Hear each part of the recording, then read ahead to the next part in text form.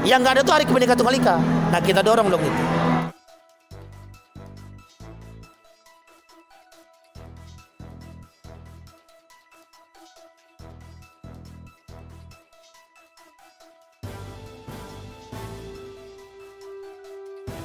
mengenai usulan gelar pahlawan nasional untuk